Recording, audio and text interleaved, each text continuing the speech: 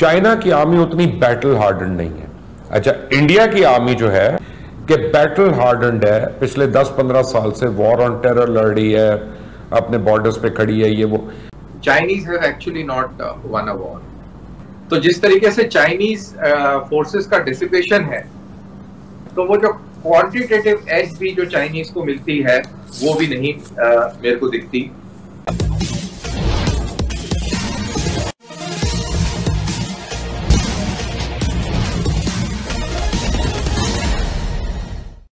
भारत से लगातार चार युद्ध हारने के बाद पाकिस्तान के लोगों की यह स्वाभाविक इच्छा होती है कि उनकी तरह भारत भी हार का सामना करे।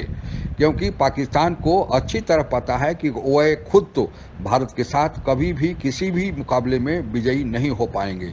लिहाजा ख्वाब में ही सही, वे चाहते हैं कि भारत चीन का युद्ध हो और भारत को चीन से शिकस्त खानी पड़े। पर शायद उनका यह ख्वाब हकीकत में कभी भी नहीं बदल पाएगा।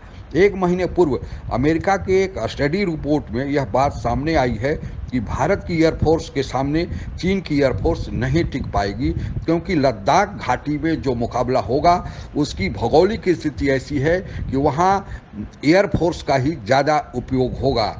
आज की इस चर्चा में उसी स्टडी रिपोर्ट के निष्कर्ष के आधार पर सिलसिलेवार ढंग से यह बताया गया है कि भारत को कैसे बढ़ोतरी हासिल है। आइए सुनते हैं आगे की परिचर्चा। रणवीर सिंह साहब, मुझे सवाल ये करना था, एक बिल्कुल न्यूट्रल आप, मैं आपसे एक्सपेक्ट कर रहा हूँ, आप मुझे एक ऑनेस्ट आंसर करेंगे, जैसे चाइना की आर्मी उतनी बैटल हार्डन नहीं है। अच्छा इंडिया की आर्मी जो है, कि बैटल हार्डन है, पिछले 10-15 साल से वॉर ऑन टेरर लड़ रही है, अपने बॉर्डर्स पे खड़ी है, ये वो। लेकिन जो लॉजिस्टिक सपोर्ट चाहिए, जैसा चाइना के पास है कि हर चीज़ की फैक्ट्री अपने अंदर है, उनको ना रशिया से लेना है, ना किसी और से लेना है, ना इसराइल से लेना है तो वहाँ पे सडनली एक आपका गैप्स आते हैं। तो in case of a conflict what is a real outcome और a natural outcome that you see देखिए सबसे इंपॉर्टेंट चीज़ है जो आपने बताया कि यस ये बिल्कुल सही बात है कि चाइना की जो डिफेंस सप्लाईज है वो सेल्फ सफिशिएंट है सेल्फ रिलायंट है और हिंदुस्तान में वो अभी सलाहियत नहीं है। आ, लेकिन आ, हिंदुस्तान जब से आज़ाद हुआ है, तब से इसी प्रकार से, इसी तरीके से उसने अपनी फौजें रखी हैं। और चाहे वो बासठ की जंग हो, पैंसठ की हो, इकहत्तर की हो, कारगिल की हो, या जो अभी हम प्रॉक्सी वॉर लड़ रहे हैं, कश्मीर में या लाइन ऑफ़ कंट्रोल पर। तो हमारी जो सप्लाई चेन है, वो बहुत ही सिक्योर्ड है। और आज तक कभी ऐसा नहीं हुआ कि हमारी सप्लाई चेन का कभी डिस्ट्रप्शन हुआ हो। हाँ उसका एक बहुत बड़ा डिसएडवांटेज ये ज़रूर है कि हमारे पैसे बहुत खर्च हो जाते हैं उस चीज़ को मेंटेन करने के लिए। तो जहाँ तक अगर कॉन्फ्लिक्ट होता है तो उसका आउटकम क्या होगा? बड़ा इंटरेस्टिंग आपने एक सवाल किया है। तो मैं आपको as a defence journalist of Indian Defence Review जहाँ पे हमें बहुत सारे इक्विपमेंट के बारे में हम लोग रिसर्च करते हैं, लिखते हैं और एनालाइज करते हैं।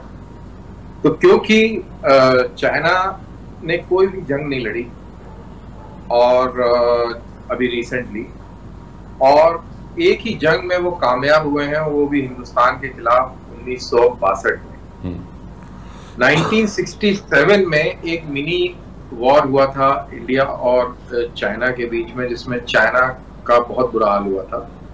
उनके करीब 800 के करीब सोल्जर्स मारे गए थे।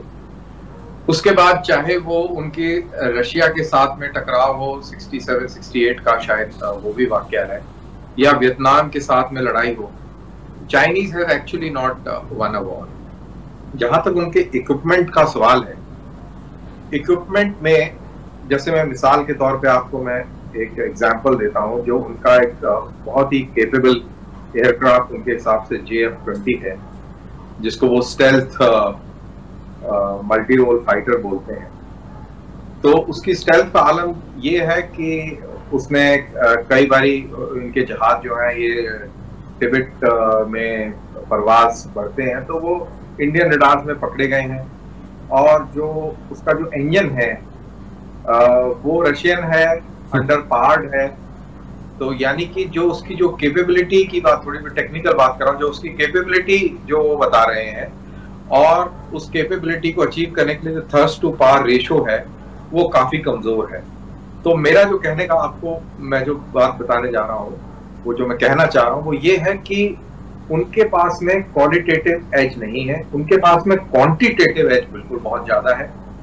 और जब आप ट्रेन की बात करें ये ट्रेन ज्योग्राफी का बहुत इंटरेस्टिंग पहलू है कि चाइनीज़ जितने भी एयरक्राफ्ट हैं, उनको टिबिटियन प्लेटो से टेक ऑफ़ करना पड़ेगा। और टिबिटियन प्लेटो से टेक ऑफ़ करने का मतलब है कि 12 से चौदह हज़ार की ऊंचाई से अगर आप टेक ऑफ़ करेंगे तो एयरक्राफ्ट का ऑल ऑफ़ वेट जो होता है विद आर्मामेंट वो बहुत कम हो जाता है। मिसाल के तौर पर, अगर एक एम आई सेवनटीन हेलीकॉप्टर जो कि पाकिस्तान में भी है इंडिया में भी है अगर वो लेह से प्रवास भरता है सर्दियों के मौसम में तो वो 28 ट्रुप्स लेके जा सकता है फुल्ली आर्म्ड एंड फुल्ली अगर वही एयरक्राफ्ट गर्मियों में टेक ऑफ़ करता है बिकॉज़ ऑफ़ रेरिफाइड एटमॉस्फेयर तो वो दो ट्रुप से ज़्यादा लेके नहीं जा सकता. तो ये एक ड्रॉप इन परफॉर्मेंस रहता है. और अगर चाइनीज़ जिंगजियांग से या यूनान से जो उनकी ईरान प्रोविंस से अगर टेक ऑफ़ करते हैं और इंडियन टारगेट्स को एंगेज करने के लिए आते हैं तो उनका फ्लाइंग टाइम और जो एक्सपोजर है, वो टाइम इतना ज़्यादा बढ़ जाता है कि वो एडवांटेज जो है डिसएडवांटेज में कन्वर्ट होता है। तो what I am trying to basically say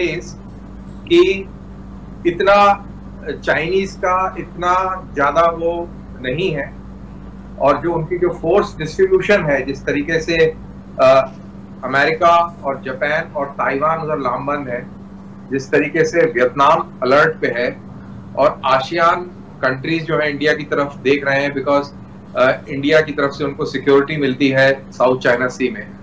तो जिस तरीके से चाइनीज़ फोर्सेस का डिसिपेशन है तो वो जो क्वांटिटेटिव एज भी जो चाइनीज़ को मिलती है वो भी नहीं आ, मेरे को दिखती। और आ, बाकी आउटकम क्योंकि मैं इंडियन सोल्जर हूँ तो मैं तो यही बोलूँगा कि अगर हमारे साथ में लड़ाई होगी तो अगर पता है कर्नल साहब मैं आपको अब एक ऐसा सवाल करने लगा हूँ जो बड़ा पेनफुल होगा लेकिन एज अ पाकिस्तानी मुझे बड़ा मज़ा आ रहा है उसका क्योंकि हमारी एक लड़ाई तो है ना। अब मैं तो मानना पड़ेगा ना। तो वो वो ये है कर्नल साहब कि आप लोग लड़े प्लीज़ चाइना और आप लड़े अच्छी तरह। और वो जो पुलवामा से आपकी हाईवे जा रही है ना सियाचिन की तरफ़ लॉजिस्टिक सप्लाई लेके वो ऑक्यूपाइड रहेगी अगली गर्मियों में हम बड़े आराम से सियाचिन में जाके बैठ जाएँगे। आप और चाइना लड़ ले। आपको पता ना इसके फॉलो आउट कितने होने ऑन अ सीरियस नोट हाँ ऑन अ सीरियस नोट इसका फॉलो फॉलो आउट बहुत ही सिवियर होगा। और uh, इस फॉलो आउट के लिए uh, इंडिया और दुनिया पूरी दुनिया तैयार है। uh, आप ये uh, समझ के चलिए कि in case of a war with China it will not be restricted to Ladakh it will have a spillover on Pakistan, a very serious serious spillover on Pakistan because uh, Pakistan uh, को अपने all weather friend को बचाने के लिए pressure डालना पड़ेगा। और उस प्रेशर के चलते रशियन uh, प्रेशर भी है यूएस प्रेशर भी है और यूएस प्रेशर से ज़्यादा जो आपका मिडिल ईस्ट का जो प्रेशर है और फ्रेंच जो प्रेशर है जिसको आप जिसको लोग जनरली नजरअंदाज कर देते हैं। ये बहुत स्ट्रॉन्ग पड़ने वाला है। और ये किसी के फ़ायदे में नहीं होगा। Ultimately it will be loss to no war is of any benefit to anyone sir no war no military conflict जिसने uh, जंगे देखी होती है ना उसी को पता होता है कि जंग कितनी खौफनाक चीज़ है और अवॉइड होनी चाहिए। टुडे सर मुझे सिर्फ़ ये बताइएगा कि गुलवान वैली में अब क्या हो रहा है? इतनी uh, इंडिया भी बीफ अप कर रहा है अपनी फोर्सेस को अपने ट्रुप्स को चाइना भी बीफ अप कर रहा है तो ये कहाँ जाके रुकेगा मामला? देखिए अभी पूरे ईस्टर्न लद्दाख पे दोनों तरफ़ की फोर्सेस जो हैं वो तैनात हैं। हम्म। और बिल्डअप है दोनों तरफ़ से। और गलवान में ही नहीं बाकी आपका इंडियन नेवी भी काफ़ी अलर्ट है। और उसका भी focus Indian Ocean South China Sea और उस तरफ़ पे है। और इंडिया की जो अलायंस है ऑस्ट्रेलिया जापान और अमेरिका इनके साथ भी काफ़ी एक्सरसाइजेज हो, हो चुकी हैं कोऑर्डिनेशन है। तो इस प्रकार से जो दुनिया की जो मेजर ताकतें हैं वो सब अलाइन हैं। और इसमें मैं फ्रांस का नाम लेना भूल गया। फ्रांस एक बहुत अहम रोल अदा कर रहा है। इंडियन ओशन में फ्रांस की नेवी की प्रेजेंस भी काफ़ी स्ट्रांग है। और साथ ही ये सब के चलते क्योंकि हिंदुस्तान की बहुत अच्छी दोस्ती रशिया के साथ रही है तो रशिया ने भी जो anti anti missile defence system S four hundred की जो रोक भेजनी थी, वो भी रोकी हुई है। तो इस तरीके से ये पूरे खत्ते के अंदर और पूरे इलाके के अंदर फौजें लामबंद हैं। और जैसा कि आपने इंट्रोडक्शन में कहा कि हम ये किस तरफ़ जा रहे हैं तो ये हम किसी कशीदगी की तरफ़ ही जा रहे हैं, जिस हिसाब से लग रहा है, क्योंकि इंडिया ने छह राउंड फौज के साथ, फौज मिलिट्री टू मिलिट्री कर रहे हैं चाइना के साथ, जो कि कामयाब नहीं रहे हैं, और उधर अगर आपको मालूम होगा कि एयर डिफेंस जोन जो चाइना ने इस्टेब्लिश किया था और उसका ऐलान किया था कल ही किया था। तो उस एयर डिफेंस जोन का उल्लंघन किया American B fifty two bombers ने। ये बात इस चाइना सी की मैं कर रहा हूँ, जहाँ पर शिंकाकू आइलैंड्स हैं। तो इस तरीके से जो दुनिया के अंदर पूरी विसाख बिछी हुई है। और दूसरी तरफ़ चाइना और पाकिस्तान और ईरान, ये एक तरफ़ लामबंद अलग हो रहे हैं। तो ये एक ब्रॉड मैंने आपको एनवायरमेंटल स्कैन दिया है तो इस तरीके से दुनिया इस समय बटी हुई है। अब जो चर्चा आपने सुना उसमें विस्तार से कारण बताते हुए डिफेंस एनालिस्ट ने यह बताया है कि अगर चीन के साथ भारत का युद्ध हुआ तो भारत को किस प्रकार चीन पर बढ़ोतरी हासिल है? चर्चा में इस बात को भी रेखांकित किया गया है कि चीन के पास भारत की तुलना में ज़्यादा युद्ध का साजो सामान है, जैसा कि स्क्रीन पर जो तुलनात्मक चार्ट दिखाया गया है, उससे स्पष्ट है। पर जहाँ तक युद्ध कौशल, तकनीकी और भौगोलिक स्थिति का सवाल है, भारत उसमें चीन से श्रेष्ठ है। इस चर्चा के निष्कर्ष के रूप में यह कहा जा सकता है कि युद्ध में क्वांटिटी से ज़्यादा क्वालिटी महत्वपूर्ण होता है। इसके अलावा चीन ने उन्नीस सौ बासठ के बाद कोई भी युद्ध नहीं लड़ा है। इसी बात की पुष्टि अमेरिका द्वारा लगातार कराए गए दो study report, Harvard Kennedy School of Boston और अमेरिकन सिक्योरिटी स्कूल वाशिंगटन द्वारा किया गया है।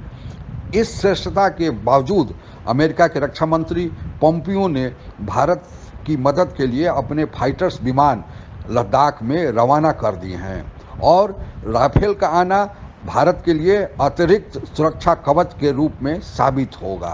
आप अगर हमसे जुड़ा रहना चाहते हैं तो कृपया मेरे चैनल को सब्सक्राइब करें तथा बेल आइकन भी दबा दें ताकि नई वीडियो की जानकारी तुरंत आप तक पहुँच जाए।